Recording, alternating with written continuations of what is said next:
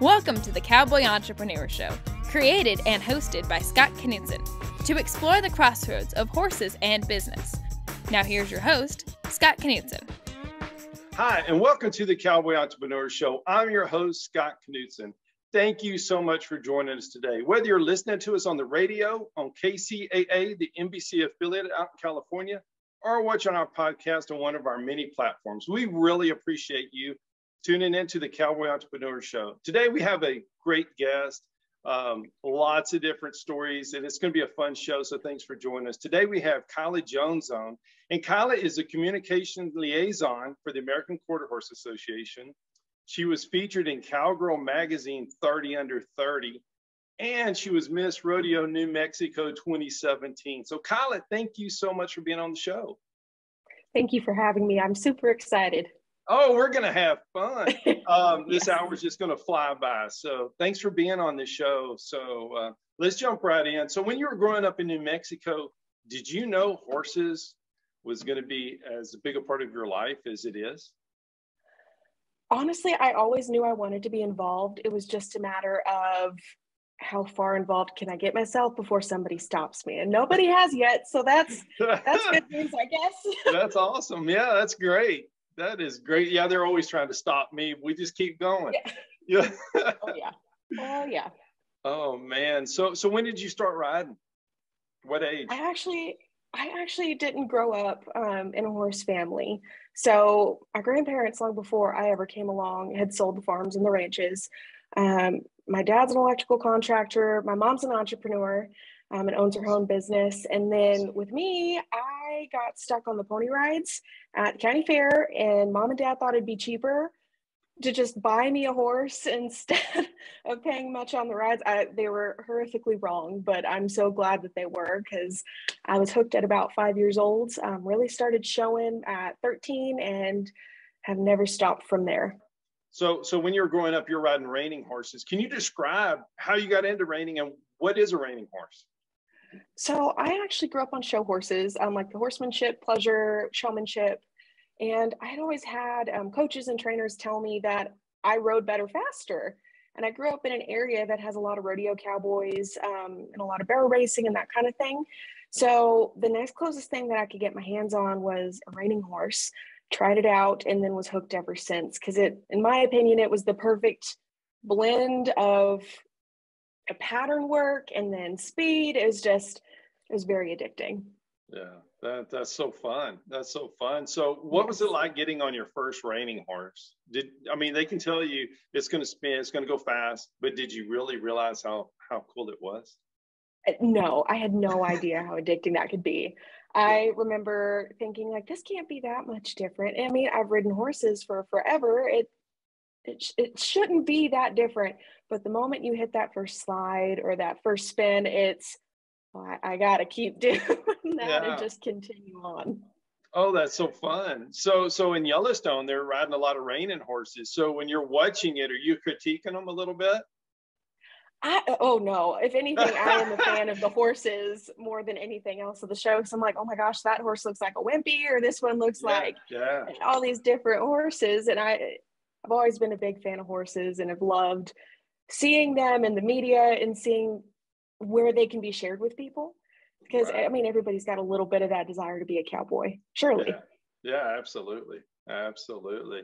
So while you're growing up in, in the reining, in your reining horses, you're also doing pageants, beauty pageants. Yes, so, rodeo queen pageants specifically. Yeah, yes, rodeo. yes. So, can you tell somebody, maybe they're listening to us on KCA or watching us, what is a rodeo pageant? Yeah, so the goal of rodeo queens is they're supposed to be the ambassadors of rodeo um, to answer all the questions that people who might not be involved with rodeo would have about the sport, would have about the lifestyle. Mm-hmm. And it's that blend of beauty and brains with a little bit of, actually, not a little bit of horsemanship, a lot of bit of horsemanship thrown in there too, um, to actually compete at the pageant. And it's not just a one day deal and then you're done and you move on with your life. It's you hit that pageant, you get that title. And even if you don't get that title, you're seen as an ambassador for the sport from then on out. Um, and your job is to go to different rodeos, answer questions, um, assist with stock contractors, help in the back chutes, ride horses. It's it's a full-time job, especially for those state title holders. Wow. Well, which you were one, New Mexico, which is so yes. Cool. So how yes. long did you do uh, the pageants? I actually competed in my first pageant at seven years old. Um, it was actually my eighth birthday turning because I remember being so excited because it was my birthday and I got to spend it at a rodeo and it was the coolest thing ever. and I did it for about 14 years.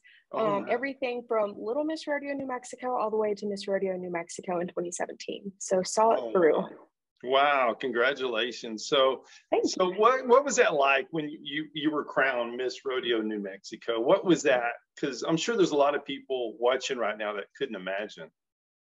It was a lifelong dream and something that again, I knew I always wanted to be involved with horses. That was just another way to continue to be involved with horses and to share horses with other people. Um, and especially those who might not get to be around a horse all the time. So to get that opportunity to travel across the United States and to share that and to visit different rodeos and to connect with more people that were like me, it it really was the coolest blessing that you never know how awesome it is until you're in it and then it's over and you're like, man, that was so much fun and it's not something that you get to repeat and once right. in a lifetime. Absolutely. So, uh, so a lot of travel, I would assume. Yes. Oh, yes. Um, my travel schedule wasn't even as full as some of the other girls um, that were a part of my year as well. I tra- probably traveled close to 200 days out of the year. Oh my um, goodness! That year. No yes, uh, I actually did the bulk of my traveling in the state of New Mexico, though, at New Mexico sanctioned PRCA rodeos, and then I did a couple out of state, and I did. Um, I'm trying to think how many in Texas. I would travel quite a bit in the Texas Panhandle because at the time I was also interning at the American Quarter Horse Association. Um, busy. Yes, that was a very very busy year, but it was a very good year. So so when you were hauling, did you have to haul your own horses when you were when you were the queen, or did you already have a horse there? It just depended. Um, so anywhere in state, I would always haul my own horse. But if it was out of state, and I would get in touch with the different rodeo committees and see if they were able to provide a horse, or a lot of times, a lot of the girls um, would host us if you went to their home state. So, for instance, we went to, um, oh, the name's escaping me, Rodeo in Oklahoma, um, Guymon Frontier, uh, Guymon Pioneer Days, Pioneer Days. We had 17 girls in one house because that's when a giant oh, ice storm took out all the power lines. So all of our host homes, they didn't have power or water. So there was only one house left, and we had 17 rodeo queens taking over these poor people's homes, and they were so gracious. But it was a full house with all of us. Oh, I bet that was fun though, you know? Oh my gosh. Oh my gosh, yes. I mean, you could share a hairspray and I'll listen my curling iron. I think by the end of it, there was a pile of things that we had all left because by the time we were time ready to leave the rodeo, it's midnight. Some of us had to fly out first thing in the morning to the next one. I had to run back home for a horse show. We took a picture of all the things that were left behind, and there was like tape because we would tape our hats down, um, a thousand bobby pins, a curling iron, a hairbrush. I mean, who knows what else was in there. And I'm like, oh, they forgot all the stuff. The curling iron was mine. And I looked at the picture. I'm like, that's what I get for, for talking. I had everything, but. oh, man. Oh, goodness. So, so that's one of the tricks, right? Tape the hat. Yes. Um, as the saying goes, and as more, it's it's morbid, but if your hat comes off, your head better be in it in the arena. It's, you don't yes. lose your hat. That's yeah, that's terrible. big no no. You yes. don't do that. yes, absolutely. Absolutely. So, so, um, so when you're traveling so much, how did you keep your schedule? Because you're rein, you're you're still riding reining horses, you're entering QHA, and then you're you're you're doing your pageant. So how did you schedule yourself? Because so many people are so busy, and and that's a tough deal to learn how to do, or to continue to do it. What was your secret? Sure. Honestly, it's all a matter of perspective and Uh, people like to say don't bite off more than you can chew but you're not going to get full if you just nibble forever yeah. and ever Preach just it.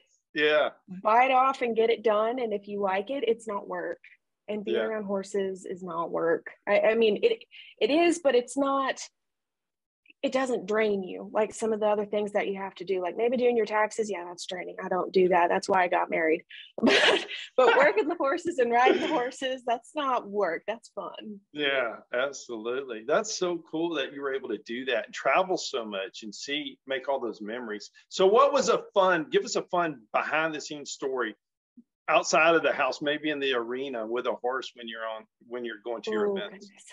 Oh goodness. Okay. I'm sitting here trying to think. I think probably my favorite memories is I um, hauled a horse to Prescott, Arizona for the oldest rodeo over there. Mm-hmm. That is one that I picked out um, as a little kid that I'd wanted to do that one when I was Miss Rodeo New Mexico because Miss Rodeo Arizona that year was so sweet and so kind. And she gave me an invitation and I'm just a little nine, 10 year old kid thinking this is the coolest thing ever. Like, this is not, nothing's going to top Miss Rodeo Arizona inviting me to her rodeo back home in Arizona. So I had marked it as a little kid that if I ever get to be Miss Rodeo New Mexico, I want to go to Prescott. So me, my grandmother, and my little brother all loaded up to go to this rodeo. And we haul, I think it was close to eight hours from where I'm from in Clovis, New Mexico. And I had previously hauled from Amarillo from college, still going to college at Canyon in West Texas, um, loaded up, loaded up the horse, got to Prescott, and that arena was one of the coolest arenas I ever got to do hot laps and flags in. There were so many girls there, the crowd screaming and going wild. And there's one picture um, of a little girl who had snuck out of her mom's arms came up to the edge of the arena and you could tell that she was not supposed to be down there because mama was in the background running towards her. And she was just trying to get as close as she could. And like i know what this little girl's feeling. She had climbed up all the way to the top rail um, of the rodeo arena and was hanging off the side. And oh. i have a oh. picture of me like waving at her and smiling and you can just see the teeny tiny little girl waving. That's probably one of my favorite oh, memories. how sweet is that? It was that too is... fun that is so cool. Well, I wonder what she's doing now. You know, you, you made an impression. You planted a seed, you know. So about to say, if she's, she's, doing anything, I'm pretty sure she's riding horses now. absolutely doing hot laps in the arena. You know, that's cool. That's cool. So so you went to um where where'd you go to college? I think you went so I started school at um, New Mexico State University in 2014, and I was a part of their equestrian program um, and was on the reining team. Okay. The program was actually cut two years later in 2016. And at that point in time, I had started my internship at AQHA and really didn't want to leave. So I I called up the advisor over at WT and I can, will my credits transfer? And he said, close enough. I'm like, I can work with that. So I transferred and finished out my degree over at West Texas A&M in Canyon, Texas. Oh, that's so wonderful. So where, what's Canyon near?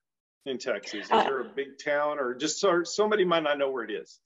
Yes. So it is just south of Amarillo, Amarillo, okay. Texas. Okay. So it's close to the headquarters. Very, yes, very, very close. So I was actually um, going to school and continuing to intern at AQHA. I would get out of class and book it up the highway. Definitely got pulled over a couple of times. yeah. yeah, got a couple tickets, but it would make it in to go to work and it, it, was awesome. It was really, really awesome. And I'm very thankful for that time and getting the opportunity to not only be able to work through college and to have the time to do that and to make money, but also to do what I really, really wanted to do. And that was so cool. So to work there. So I think I read somewhere that you you were judging horses at, at, at college too. Were you part of the horse yes. judging team? Yes, yes, I was. I judged. I had a very, very full year in 2017. Um, it, was Miss Rodeo New Mexico school interning, and then I actually um, flew out to Miss Rodeo America from a judging contest, uh, the NRHA reining horse reining judging contest. Um, flew from Oklahoma to get to Miss Rodeo America, so it was just a boom, boom, boom, all wow. the fun things all at once. Wow. Goodness gracious! So, what what put you into horse judging? What what just I, I, know your natural passion for horses, but is that what it was, or did you want to do something a little bit different than reining? So it really inspired that. Um, I actually rode with Terry Thompson back when I was a youth kiddo, and he is um, a carded NRHA judge, um, AQHA judge, uh, all the fun things, and then he's also in the NRHA Hall of Fame.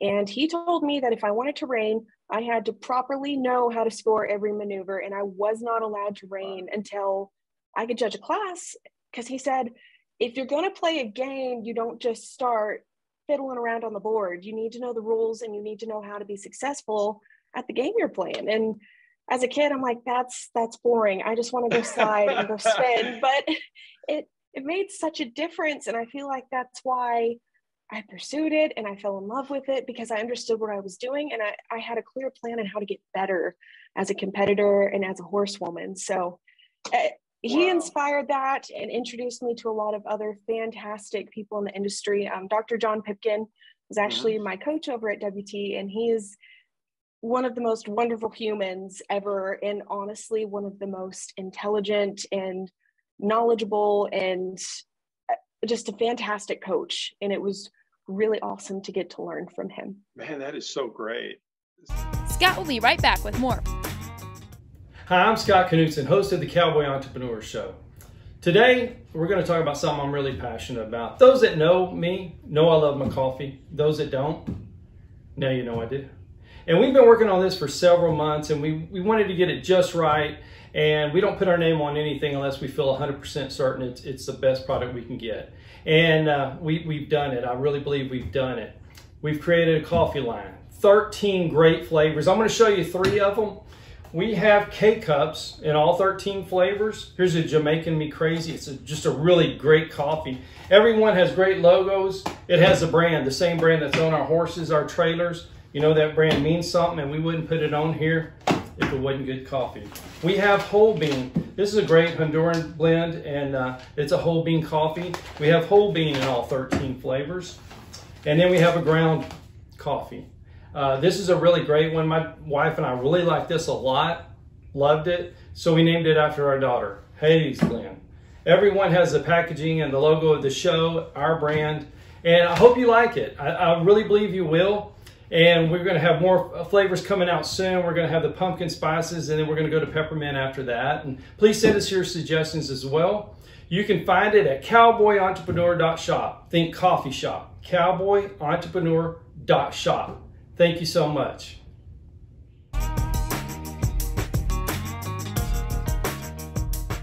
So what's it like being a student athlete? Because you know you're going to school, you're riding horses. Did you just get up early and go feed your horse? Or what's a normal? There's no normal. What's a day in the life like? So day in the life would generally be um, like a 5 a.m. workout. We would go down to actually the the athletic gyms that football players, baseball players, everybody else was in there um, this is kind of a funny story off track, but it's cool. Uh, you can't tell, of course, if y'all are listening or if you see. I mean, I'm not very tall and I'm not very athletic built. So I'd walk in the gym and they're like, "Oh, sweetie, you're lost. The cafeteria is that way," and I'm like, "I'm supposed to be. I don't want to be here, but I'm supposed to be here to work out." And we would have workouts, um, but that honestly was awesome, and it really helped my writing thinking about your body and thinking about like okay i probably shouldn't have like six dr peppers before going out to practice like some water would be great. Um, yeah. and it breaks a lot of those habits that growing up even as a 4-h kid that you would do because I, that just wasn't a thing to think about your health and your body. And also with the the mindset and the mental game that came into it we would see sports therapists and especially with that mental game of reining that it can be. It, that was fantastic. But you get up, go to workouts, go to class, um, and it, it depended on when your horse was ready. So some girls would feed in the morning, some girls would do the afternoon tours, and then some girls would do the, the evening tours. So the reining team, generally our practices were at the end of the day. And we would have evening tours, which is where we fed the horses, we cleaned the stalls, um, we flushed out the wash racks, made sure the arena was in good shape for the girls the next morning, and then they would handle the next morning's chores. So it was definitely a sun up to sundown sort of deal. And then after that, you would have study hall. Um, once you got finished with your practices and with your tours, you'd go to study hall for your required hours to make sure that you were staying on top of your grades. But they do really good by those girls to get them ready for the real world and to right. make sure that we were pushed to be better. That's so great. I love how it just creates so many great habits. You know, I think that's so, well, I know it is so important to be healthy and mentally and physically, spiritually, just ready to ride that horse because the horse can feel it. You know, oh they're gosh, so yes. in tune and, and it's, it just gives you longevity, but it makes it so much better for the horse as well, not just yourself. Definitely. Definitely. Yeah. So, I mean, they can feel a fly on them. So, of course, they're going to feel me if I'm just an anxious little mess up. so, you just got to be ready. Yeah, absolutely. You do. You have to be in tune and you have to be, they can feel when you're tired or when you're sluggish. I, I really believe that. And, and, uh, they they kind of mirror that, you know. And if you want the best performance, you have to be ready to give your part too. Um, sure. So that's cool, man. I love the gym story. And what was a sports psychologist like? You know, um, how did they mentally get you ready? So we would talk a whole lot about okay, uh, if you're anxious about something, what's making you anxious? Let's get to the bottom of it, see if we can solve that problem. And then if you're still struggling, let's talk through different tools on how to manage it. Because I mean, like for, for me, for example, a lot of times I couldn't even tell you why I'm nervous. I'm just a cat on a tin roof. I have no reason. I just am, and it just it just is. And I don't enjoy that. I know it's not a good trait, but working with someone and talking through that was fantastic because they have an outside perspective and they could walk you through of okay if you're feeling this here's a tool to help combat that. So that way it's not necessarily going to change how you're feeling but it can change how you manage that instead of just internalizing it and fighting it and just making a bigger mess than what it needed to be. Man, I love that. I, I love that so much because, you know, like you say, the perspective's so different and it just makes you feel better in the saddle when you're not worried about all the outside oh, noise. Oh, yes. You oh, know? Oh, yes. You can actually enjoy your ride and enjoy Absolutely. the time. Absolutely. Absolutely. Well, to yeah. keep up a schedule like you have too, you can't do, I mean, it would be hard to do if you're worrying about everything else and if you're not in no. shape and it just snowballs down.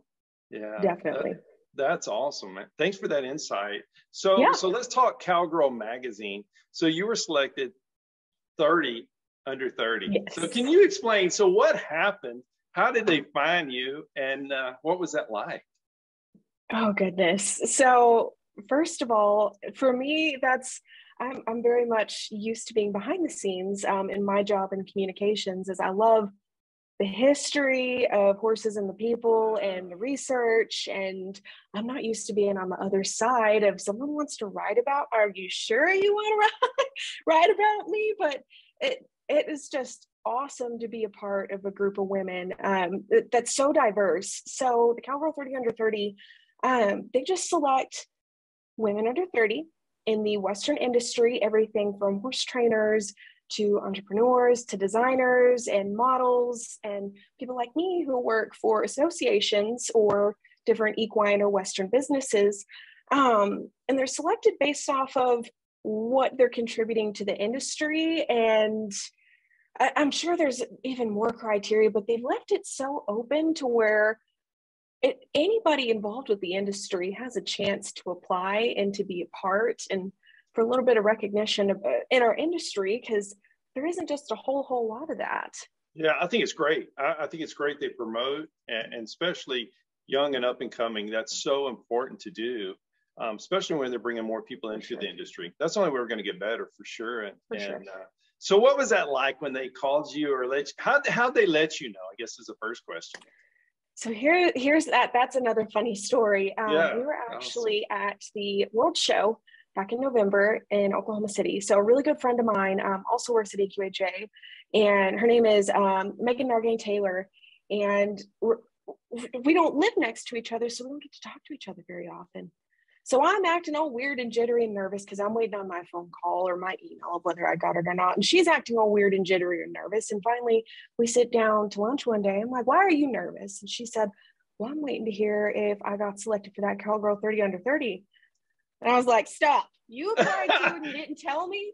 And sure enough, the two of us had both applied and we didn't tell each other. So after that, it was nice to have a friend in, in that waiting process of yeah. it, it, was something that both of us really wanted. Um, and we're super excited about because it is such a cool award. And cool. there's a lot of um, ladies that I looked up to that were in the past two classes. Another good friend of mine was in the class before um, AJ O'Boyle, uh, she's a phenomenal photographer, and people that I really, really look up to and and I'm inspired by, and have been part of the reason why I do some of the things that I do, or take that extra step even when you're tired of nope, it's worth it, keep on. But it when we finally got our phone calls or we got emails actually, um, I was sitting in the arena and we were watching a class go, and I'm I think I was dropping off paperwork and was about to have to run back to the office. And I saw the email I didn't open it. I sprinted back to see if I can find Megan because I didn't want to open it without her. And she was busy working doing something else. And um, I opened it. I couldn't resist at that point. I was like, she's not here. I think she's not going to mind. I'm just going to open it Yeah, and see, yeah. see what it says. And sure enough, it had a big fat congratulations on there. And it was like five minutes of screaming and excitement. And then in, the next, it was okay, we got to go back to work because we've got another presentation in the arena in like 10 minutes. So, That's so cool. So cool. I'm so glad the mag- Cowgirl magazine does that. And, and I'm, it's, I think it's so uh, appropriate you found out in the arena. know, yes. oh my gosh, yes. neat, you know, that's really Show. neat. Yes. Yeah, how that I rolled mean, out. they're fantastic. I, I've been getting emails still from them, and it's it's just a dream of. I've, I've loved that magazine for years, and all of the sponsors that are a part of it: Wrangler, Durango, um, Montana Silversmiths. I, these are all companies that I've worn, I have used for years, and for them to do this for young women I, is incredible, and I'm so thankful. I mean, it, it's it doesn't feel real. Yeah, it, it's so great they are because they have been around the industry for so long and they're they're investing in young women. I think that's so wonderful. So Oh gosh, wonderful. yes. Yeah. So so you did a little time at Lazy Arena. I did. I did. And it was time well spent. I, I love the Lazy E Arena and still, I would say a second or a third home with at this point. yeah. much time we so, spent so up where's there. Lazy E for people maybe not might not know? Yeah, so Lazy E Arena is actually located in Guthrie, Oklahoma. Um, and that's just north, oh gosh, my directions are failing me. I believe just northeast of Oklahoma City, Mhm. um, middle of nowhere, in all honesty. It's it's near the town, but you've got to go back and in the brush to get to it in Oklahoma. Yeah. But it's the most beautiful setting. It's set on the Lazy E Ranch, um, where they breed racehorses, horses for rodeo, and just a smattering um, of everything that would be quarter horse and a little bit thoroughbred out there. Um, and then they have this massive arena. And for the longest time, it was the largest indoor arena in the world. Now I think there might be one larger in South America, but at least it, this part of the world is the largest indoor arena. Um, that's actually also home to the Cinch Timed Event Championships, which is specifically for timed event cowboys. They all compete in five different events. Oh, my brain's failing me. I In think- I five think so. different events Yeah. to see who's the Ironman cowboy. And it, So it was a lot of fun. So It was a lot cool. of fun. Well, there's so much going on there all the time, it seems. Yes. Yes. They had a wide range of events. We had everything from timed event championships in March um, to red dirt reining. That would be in April, May. And then they would have um, the Little Britches, National Little Britches, rodeo finals. That is the most insane event I've ever been to. I've been to NFR, the World Show, like American Rodeo. Nothing can touch the Little Britches rodeo finals. And it is for the pure fact that you've never seen a group of kids so happy to be with their horses, with their friends in one place, running wild through the green hills of Oklahoma. And that was actually my first event that I, I did on site at Lazy E was Little Britches. I just remember being on a golf cart running through a pasture and you'd have kiddie pools everywhere, but it was a, a, crapshoot of if the kiddie pit, like the little kiddie pool had goats, children, or puppies, or no telling, or a cooler full of sodas as kids ran by. I mean, it was the most ultimate kids rodeo event I've ever been to. Oh man. So how many kids would show up for this event? Off the top of my head, I can't remember, but it, I mean, I'd say there's probably close to a thousand at Yeah, that point. They would deal, run. right? Um, it's a big it was deal. huge, Yeah. huge. They would run three um, rodeo arenas in the Lazy E. So you'd have a calf lane, you would have um, a barrel pattern or a pole pattern on one side, and then you'd have the rough stock arena at the end. So you'd see mamas going from one to the other to the other, just depending on how many kids she had and where their draw was in the day of just rotating sides to get the videos and to see So everybody cool. go. So cool. Yeah, Yeah. yeah. You know, a thousand people, you know, when you figure that's a lot of people, but then you got Oh parents gosh. and animals and trailers. It's a big deal. Yes, very much so. Yeah. Very much so. Yeah. Thank you for listening to the Cowboy Entrepreneur Show. Scott will be right back with more. For more information on Scott Knudsen, the Cowboy Entrepreneur, visit us online at cowboyentrepreneur.com. Well, I keep seeing something back there. It looks like a, a trophy. Let's talk about that before we keep going. Can you tell us about that? Yes. So uh, another long story, but um, my uh, she's now four, but my three-year-old Appaloosa mare last year won the um, Appaloosa Reining Horse At, in Fort Worth over at Will Rogers. Thank you. She's she's a very cool mare, and it, she has a fun story herself outside of just winning that. But I, of course, I just beam when I talk about her because I adore that little mare. she's awesome. Well, you should. So, what's her name? Uh, so, her name is. And I know that we talked about this a little bit, uh, emailing and whatnot, back and forth. But her name is. I hope she's good. I so, love it. I love it. It is. It is. It's I hope she's good. So um, she's actually by Yellow Jersey out of a really nice um, Appaloosa mare. And we, we bought her before she was even weaned off of her mama. So, I mean, I, months old at this point. Um, the gentleman that I learned how to ride from, he was part of the breeding program that produced her. And he said, You need this mare. It's she's just really cute. I loved her mama. She's out of yellow jersey. I mean, you're really going to enjoy her. So you need to buy her. And I had had horses for forever, but I always had um, amateur non-pro horses, the ones that were done, ready to go, and you could hop on. Literally, I, I bought a horse at unseen, showed up to the show, and went and rode in the class. And so the younger side of the game was totally outside of my realm of understanding and out of my experience. So talking with my mother um, about should we buy her or not, she wasn't registered or anything. We were talking about her, we talked about cute names, and mom was on the fence about, I don't know if we need to do this. You're not always guaranteed that you're going to have something to show. And every time we had this conversation, it's, well, I hope she's good. I hope she's good. I hope she's good. After she bought her, it's, I hope she's good. I hope she's good. So mom was trying to come up with fun names and she was doing really fun plays off of Yellow Jersey's name um, and then the mare's name, but nothing just wasn't, it just wasn't sticking. So I didn't tell her and I just submitted the papers with, I hope she's good. And I'm like, if, if they approve it, it was meant to be, and that's supposed to be your name. And that's just what she's going to be registered. Sure enough, I get them back and I get big old fat, I hope she's good on a set of papers. I'm like, oh, mom's going to kill me. but it, it fits her. Um, and I call her Hope and that name has has meant a whole lot more outside of just you know registered um of course had her as a weanling. We weaned her we brought her home. She spent, spent a lot of time with her when she was a year coming into two. And we were going to send her um, up for training over at nathan piper's place in um, oh aubrey tioga in the uh, horse country that strip mm-hmm. down there in texas.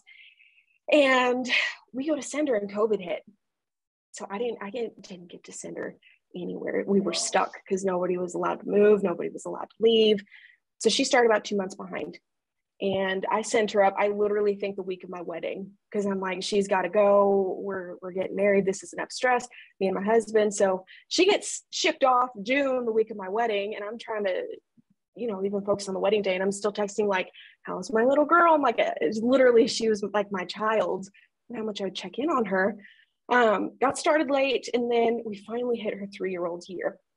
And we were in Florida on vacation with my in laws, and I had a phone call from Nathan that Hope's not acting right. Something's wrong. I don't know what it is. She was eating okay, but she's just, she's not herself. I'm like, we'll watch her for a bit. Maybe we'll take her over to the vet. And he took her to the vet because, of course, he's laying eyes on her. I can't see her, but I, am trust I'm trusting Nathan, and he did an amazing job and honestly right. saved her life.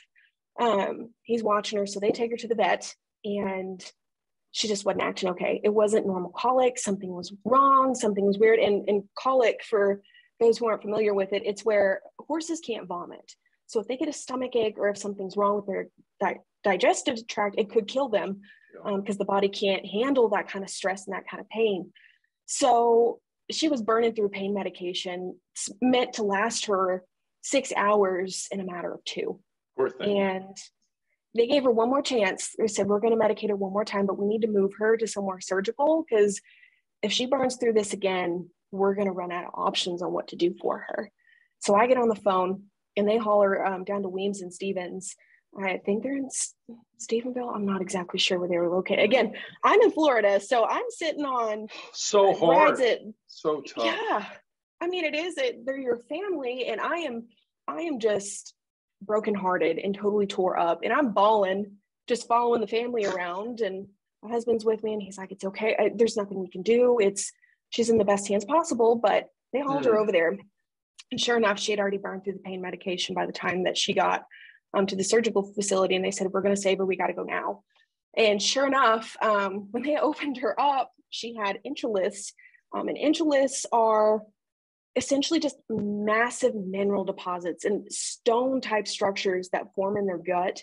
She had one that was the size of two softballs um, fused together that was trying to pass through her digestive tract, um, and then a baseball sized one. So she'd been working and learning and doing fantastic with stones rolling around in her gut, and she was still working. I mean, the fortitude that this mare is incredible. It's incredible. I'm getting chills talking about I it. I know, I know. I'm sure the audience is too. That's just phenomenal. So what happens? So what happens? So generally speaking, I, I mean, I grew up in a world, and this just goes to show how much equine health and medicine and these vets and how much work they put into this. I grew up in a world where colic surgery, if if it wasn't a career ender, um, it, was six months before they could do anything. And they told me, they said, if we're lucky, maybe six weeks. Um, if we're really lucky, really lucky, maybe six weeks. And sure enough, she didn't lose any weight. I mean, I'm getting pictures of her on feed bags, and I'm like, she's still just a chunky little thing, just munching on everything, even still in the hospital. As soon as they could give her food, she was back on her food. I mean, wow. that baby loves to work and loves her job. And we bring her back home. She was off six weeks and she was released. So I drive up to see Nathan, and we were going to talk through her. The whole goal was to take her to the Appaloosa world because um, that's what she is. And that's what she was she was bred to do.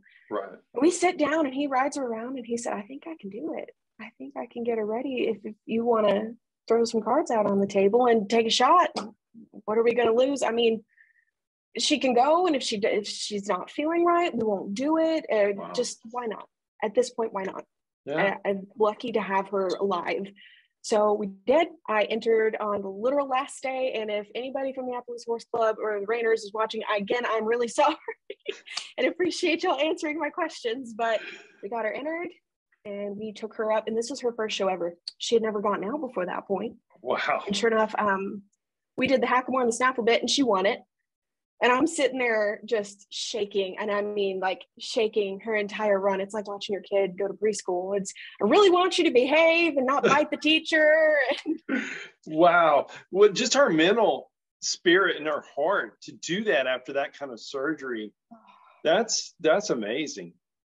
She's incredible. I mean, she's been a fun story from start to finish from I hope she's good. And then yeah, to that. So, so what was more nerve wracking? Was it the pageants? Was it when you're riding and you're competing, or was it watching your horse? Oh, watching her, a yeah. thousand percent. Isn't that funny? Because it's it, especially when it's that's that mental game. It's out of your control. There's nothing yeah. I can do about it from the stands other yeah. than sit and stress myself silly. And you know, even when I'm riding, there's there's some semblance I can do something about this and I've put in the work, right. I can do something. And when you're watching somebody else you love and care about, it's a full on, I, I'm going to puke, don't sit near me. It's the, you oh. need that sports psychologist to come sit with you while you're watching your horse. Yeah. Can you go hold my hand, Sarah? Like, not. Oh my goodness. How cool is that? So what's next for her? Um, I'm really hoping I actually got to ride her for the first time myself about a month ago. Wow. And naturally, I, I came down there and I thought I had my boots in, in the truck in the trailer. I had spurs, but no boots. And I'm like, can I please still ride? I'll be in my tennis shoes, but I just really want to ride her. And sure yeah. enough, and she was amazing. But I'm really hoping that I'll get to show her this summer for her four year old year. And awesome. she's just fun. Awesome. That's so great. That's such a great story. You know, that's why I love horse stories so much because the horses, they're amazing animals. But and like your horse, you know, to do that is oh yeah. Uh, you know, and, and and like you said, with the medicine and the veterinarians and the way the clinics work now, it's so important, and we need so many more of them. Yes, you know, the, the large animal vet, and oh my goodness. Oh my gosh, absolutely. I mean, they did. They saved her life, and it, it wasn't a matter of um, oh uh, the receptionist called me. It was no, I had the surgeon calling me and giving me updates on her the moment she went into surgery, the moment she came out of surgery. Oh, great. And I, I and thank goodness because I, I was about to just hop on a plane out of Orlando myself. And I, I think my think, husband yeah. was about, he was wore out too. He's like, I don't know, but this woman right now is out of hand. I was definitely out of hand, but yeah. it, it is. I, I don't have kids of my own yet. So the horses that I have and the bonds that I've I've forged with them, they're they're definitely family. Yeah, that's so cool. And that's when you ride that horse, that horse knows that. And he's going to perform as hard as she can for you. That's so oh my cool. goodness, yes. So cool.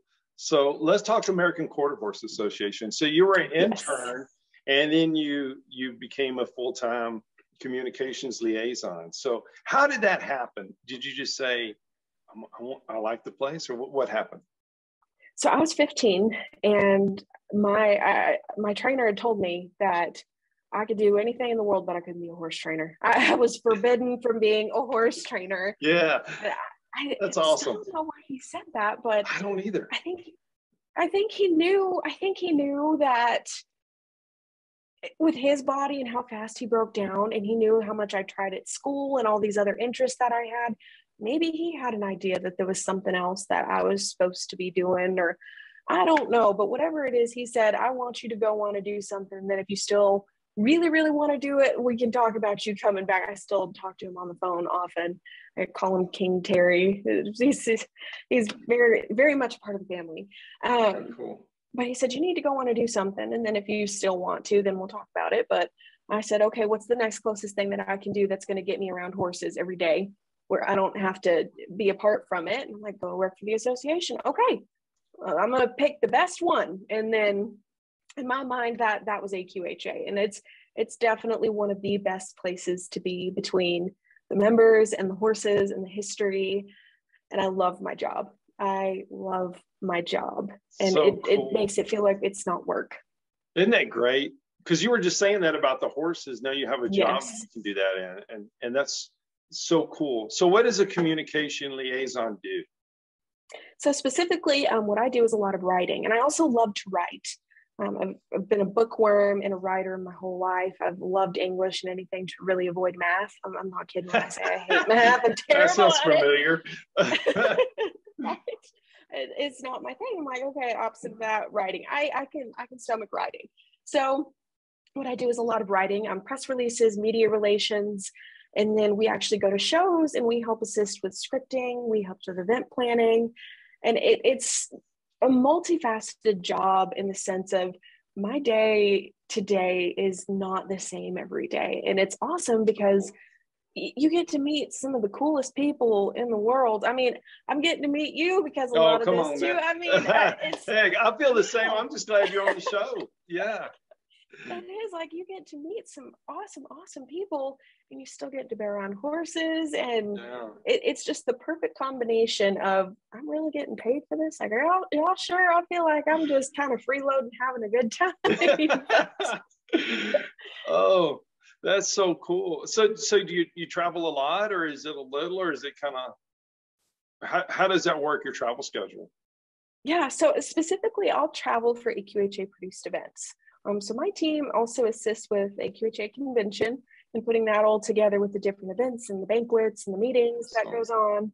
And then um, we'll have the VRH Worlds at, the Lazy E. So it's like going back home when I get to go in the summer um, for the neat. Versatility Ranch course. Yes, sir. Um, and then we'll have Youth World and then the Select World Show and the World Show coming up in the fall. So busy, So, busy times. Yes. Yes, Busy it's times. it's the best. Isn't that great? I love being busy and working, and it just it just makes everything so much better. Yeah. Yes, very much so. So so writing. So what do you write when you're at when you're at work? What are you writing about? Um, uh, it really just depends, uh, depending on what's going on news wise in the association. Um, Mhm. and then I do a lot of press releases covering like, hey, this is coming up, or your your um, entry deadline's coming up, or this race is coming up, and making sure that information is out there and available to members, and then that all of the information that we are publishing to the best of our abilities is factually correct and done so in an efficient manner. So Wow. Wow, that's so cool. So cool Yes. because there's so many horses in, in the association and so many tra- so many different disciplines. yes, Yes, definitely multifaceted. You've got show people, you've got English, um, racing, ranching. It's it's really cool, especially at convention, which we're just coming back from, to see them all come together and with the common goal in mind of you know protecting the integrity of the breed and then the welfare of the horse. And I, they're very passionate people and it's so exciting to see people be that passionate about anything yeah. in general yeah, but absolutely. especially with something that i have a shared passion for it's it's a lot of fun to be around them and it's a lot of fun to see what can be accomplished when you get a group together that that has the same idea. That's awesome. That's awesome. Common passion for for one of oh it's just nothing better. Just that positive no. energy. You can just get so yes. much done. So yes, much done. absolutely. So, how do you see it changing as far as the industry and the communication to trainers and horse owners, or the person that just has one horse as a member? You know, so you're writing You know, we got the magazine, yeah. which is beautiful and online, but what do you see in the future? Uh, really, more communication, and then tailoring that to the different people um, that's out there in the industry. I mean, you can't say, "Hey, you need to get you know your stallion breeding reports in," because not everybody breeds every year. It's you've got to make sure that you've got the right message for the right audience and that it's something that they're going to read. You can't go and use the same means of communication that we did honestly even six years ago when I first joined AQHA as an intern. Of uh, people don't always check the website. Not everybody has access to email. Not everybody's looking at social media. I mean, you've got to be creative on how you share this message and to make sure that it's the right message with how how you're sharing it with people. Right. So in the future, I, I just think that there's going to be different ways for us to keep contact and then for people to get information. I mean, in a way that benefits them and that's useful because I mean, for instance, I my father-in-law he he ranches. Um, if I were to text him and tell him that he say um, owed me fifty dollars, he's not going to see that text probably for another week or if you know it's you got to right. figure out how reach them where they're at right right well it, it is because like you say not everybody has email or text or magazines or mm-hmm. website plus everybody is so busy you know yes. you, you do you send it out multiple times you send out one time one way then one time another way because people are so busy and you know we have the, the, the breeding operation and we're trying to keep right. up with it and yes. and uh, it's a it's a, I appreciate how much y'all communicate because that really helps us yes yes. Yeah. Uh, you're mentioning the breeding operation. I don't know how these larger breeders i have a whole new appreciation for that. I'm just breeding i have an einstein's revolution mare and i'm breeding her this year. And I have never been so stressed out in my life or looking for signs of attitude from, from, an animal in all my life between keeping her under lights and the work that goes into it. I mean, yes. those breeders, uh, two thumbs up because I don't know how you do that in multiple horses. I'm struggling with my one. oh man, you know, like you say, systems in place, you know, and you got to love what you do, and for sure for sure. So you on your own, you and your husband have a cattle operation. Just and, getting started. Cow, yes. Yeah. So yeah. so tell us about that. I think it's Rafter J. Is that correct? Yes, correct. So, uh, and by just getting started, he'd, he'd had cattle long before me that he had run with his father and with his siblings, um, and they all still run run some together. But we actually um, now have a little bit of land, and we're working on getting moved out there at, at some point in the future to put it all together into one unit of me being the horse girl and liking to have little foals running around and then him being cattle guy and wanting to get um, his cows on his own place and just kind of combine those operations of what we've admired for years through the different the ranches and the breeders that we've been around and just friends with and excited to get that started for our own and to take part and get in on the work it's so awesome. It's so awesome. Y'all have a vision. You're executing the vision. And so, what kind of cattle? Uh, they actually have um, Angus um, cows, and then they've been breeding just kind of to a smattering of bulls. Here lately, it's been Charolais bulls. A good friend of ours, they have Charolais, and I love seeing the little smoky calves running around. Yeah, there's, there's nothing better. Yeah, it's so better. cute. Yeah, that's so cool. So cool. So you're gonna have baby horses, baby calves running around. Yes. Eh, that's a good lie. That's a oh yeah, lie. makes Great for line. fun springs. I'm excited. Yeah. So so I was reading on your bio, you volunteer a lot. And and uh, can you talk a little bit about that? Like how do you pick some place to volunteer? Because I love that. For sure. yeah.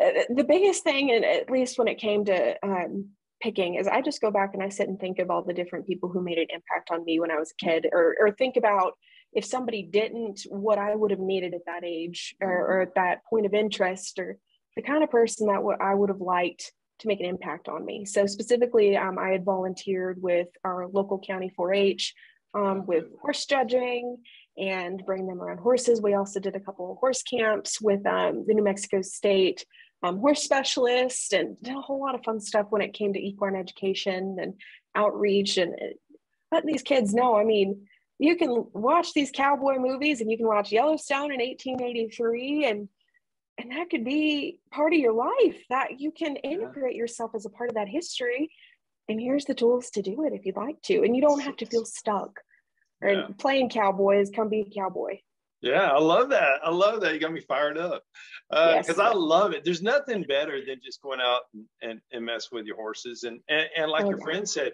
you don't have to be a trainer. You can come out here and own a No. horse, so you can do photography or you can ride. There's so many facets inside our industry, and it's a welcoming Oh, yes. industry. It's getting more so, I believe. Yes, absolutely. I mean, a- kid like me, I have no reason. eh, There, there was no pedigree built into me to want to be a cowgirl, other than I saw it. I saw a horse, and I just said, "I want that." And there was fantastic influences at pivotal moments in my life, um, from my family, the the people who taught me how to ride, the people who taught me how to write and to love books and to love reading, and the people who taught me how to put those two things together of you don't have to choose. And courtney dehoff is, is another um, woman that i am so inspired by with her whole fancy lady cowgirl idea of you don't have to choose these things. You can be all 10 shades of whatever you want to be. And Absolutely. if it makes you happy and if you can figure out how to put them together you're going to have a lot of fun Yeah, that's so. I'm, so glad she says that because I agree 100%. There's so many things to do. You can do whatever you want to do, and it just takes that one opportunity. And if it's not there, you can find it yourself. You know, yeah. you found your way in, and now you're you're recruiting so many people in the industry, um, like that little girl hanging on the rails earlier we were talking about. So important, Yes. so important the outreach part. Yes, Cowgirl Cowgirl magazine they had asked us. Um, I'm I'm struggling to remember the exact wording of the question, but it was something of, where do you see cowgirls being in the next 50 years? And right now, we're seeing a huge change in the industry of what mm-hmm. cowboys and cowgirls look like, where they come from, and and how they choose to express those feelings inside of us that you can't always put into words by feeling connected to a hat or to boots or to horses. I mean, it, they're indescribable feelings. I nearly almost akin it to it feels like you're coming home to your family. You Yeah. can't quite put your finger on why it makes you feel good, but it does. Yeah. And the only thing that I could think of for my answer is, you know, we're we're breaking that mold. We're breaking the mold of what a cowboy looks like, but isn't that what we were from the get-go? The cowboy broke the mold of what was Yeah. supposed to be the normal at that time and we were born to do that. So it, you're just going to continue on and roll with the punches and change with the times and everybody's more than welcome. Yeah, I love that, and and they are. It just makes our industry stronger, for sure. Oh gosh, yeah. And, yeah, it's so much fun to to see somebody new that wants to intern like you did, or or that, that help us. You know, it's so much fun to see them advance in the career, whatever they choose. Um, yes. Yeah, and, and AQHA does a, a great job of, you know, um, marketing our our industry. You know, Yes. and and uh, but it takes everyone. You know, it, it it takes you at an event to go and talk to someone. You know, and takes me Oh, yeah. to talk to someone. Oh, And yeah. uh, I think one thing that people can struggle with is, I mean, oh, they're just a naturally friendly person, and I, I mean, it's it's getting that in your head of and getting past those insecurities of, well, that person looks busy, they don't want to talk to me, or, or you know, it, it, it's that I don't want to say it's that fight, but it's pushing yourself outside of your boundaries to be Mhm. that person that you needed. instead Right. of just staying in your own lane sometimes. And I'm not saying go and unsolicited advice, Yeah. advice or that kinds of things, but just to go be that friend and to start that conversation and for people to feel like they that they're seen and that they're heard and that they're part of something more than themselves, which we all feel, but it's nice to have that little bit of a nudge of like, yep, you're thinking right. Yeah, absolutely. So, what's your advice? So, someone that's not in the industry, um, and they're like listening to the show or watching you right now, they're like, I think I might want to try something in the industry. What would be your advice? Just from Kyla, this is what you should do. there there's been so many pieces of fantastic advice that I've received throughout the years, but I think the one that sticks with me, and it doesn't matter the situation, even if you're madder than the Dickens because something went wrong, or you're you got a, a blowout on your truck and you're on the side of the road and your granola bars are all gone and the Chick-fil-A was closed. Like it, it, it doesn't matter how hard it is, but you can learn something from anyone anytime and it doesn't matter. Like it just it doesn't matter the situation. It's you've got to look at it from the perspective of okay i'm i'm supposed to learn something from this and i'm it, i'm supposed to share it. It's not only i'm supposed to learn it's i'm supposed to share it it's knowledge is just that constant flow and taking advice and learning from people is a constant flow Absolutely. That's great. That's beautiful. You know, I, that's so true. You know, I feel like I learn something every day. You know, Oh, yeah. I, I didn't have a big palate to start with. So that's probably, you know, something I should be doing. But, um, you know, it, it is changing so much, just like you were talking Mhm. about getting the word out from the association. It, it changes so much. And I think now it's going so much faster, the change. Yes. It, it's really an advantage for somebody that's coming in because they they don't know. They can respect the past you know for sure we all do but they can also help us with some change and to get better. Oh, for sure, for sure. I, the, the history of horsemen and women in general is something that, I, I mean, I'm obsessed with it, for lack of a better term. Any book that I can get my hand on that's written over cowboys or the history of the breed, um, or anything that Jim Jennings um, has written in the past over. They rode they rode good horses and the history of the American quarter horse and the people are the first, uh, you know, 50 years of it all of that history is so important and it's so exciting and it's also even more exciting because you can learn from all of that and end up 50 years ahead from where they were on into the next one. And we can take so much from that. There's so much appreciation that we have for the people that built where we are and then just use it to continue forward and Yeah, onward.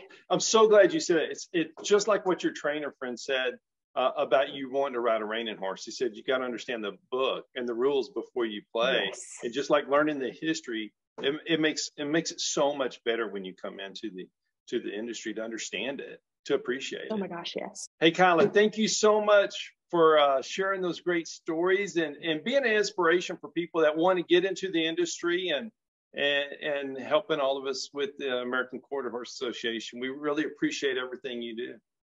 Of course. No, thank you for having me. It's always exciting to get to talk horses and to get to share it with other people. Oh, I love it so much. I, it's in my blood. And, I'll, and congratulations on your horse and the trophy. That's so great, especially your first Thank you. one, man. That's a big deal. And I know there's going to be a lot more coming. So thank you so Thank you. much for being on the Cowboy Entrepreneur Show. Thank you. Thank you for having me. Thank you to all the great sponsors of the Cowboy Entrepreneur Show. If you or your business is interested in being a sponsor of the Cowboy Entrepreneur Show, please call our office at 830 992 1786 or visit our website, cowboyentrepreneur.com.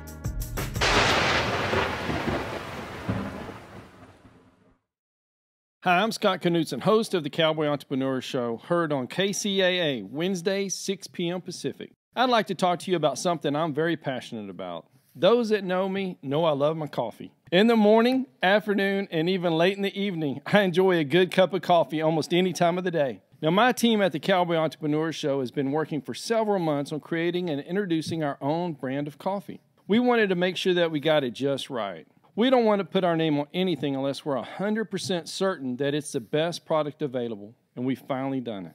We have created a wonderful line of coffees, 13 fantastic flavors offered in whole bean, ground, and K cups. Any way you like to brew your coffee. Now, each of our coffees carries our brand the very same brand that we put on our horses, our trailers, and our chaps. So you know that this is a quality product. And we only use 100% Arabica beans, the very best beans available.